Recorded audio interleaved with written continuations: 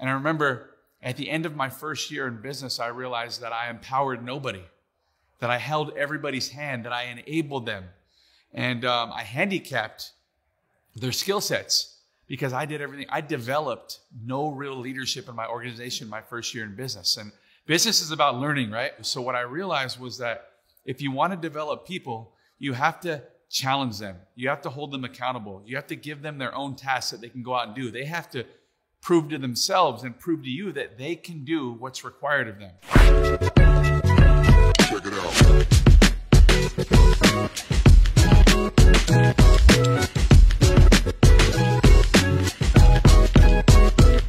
for those of you that have known me or who, who know my, my line of work, I'm in the people business, right? I'm, I'm, I'm about building a network of people around the world, creating a sales organization for a multi billion dollar company. And developing people is something that's not very easy, okay? I've been doing this for 15 years. And I remember when I first started in business, uh, it involved me building a sales organization across the country.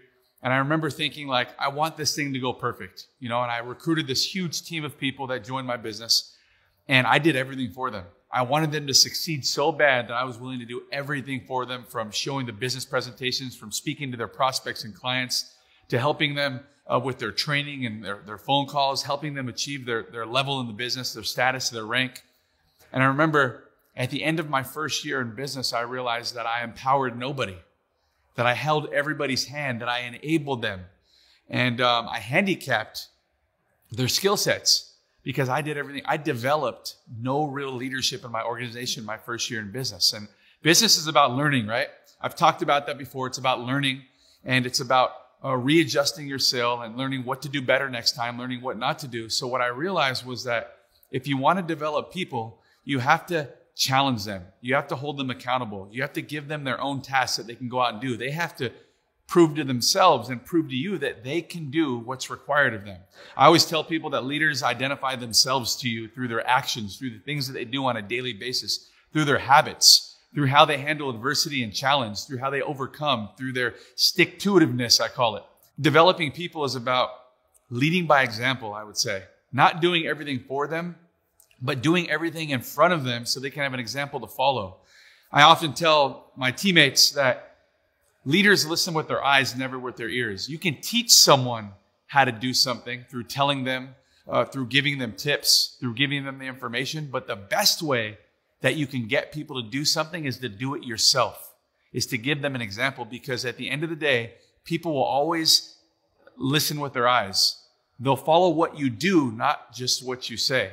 So over the last 15 years, uh, as I've developed a sales organization of more than 2 million people in over 150 countries, around the world. I have many, many empowered people in my organization, many leaders that have developed themselves because of my example, because of what I've shown them, because of the success that they've seen me accomplish over the years through the action I take every single day. It doesn't matter how successful I am in life, how successful I am in my business. They always see me taking action day in and day out, day in and day out. I'm always rising to the occasion. I'm always accepting the challenges. I'm always doing. That's what I'm doing. And I'm telling you that leaders take count of that. Leaders see that and then they follow that example and they become successful. So if you want to develop leaders, it starts with action on your part first. It starts with you giving them responsibilities, it starts with you holding them accountable. It starts with you giving them challenges to go out and accomplish. But as soon as you give them those instructions, as soon as you give them those challenges, as soon as you give them the task at hand that's required of them to become successful, you have to follow through by doing it yourself as well. Practice what you preach and they will do what you teach.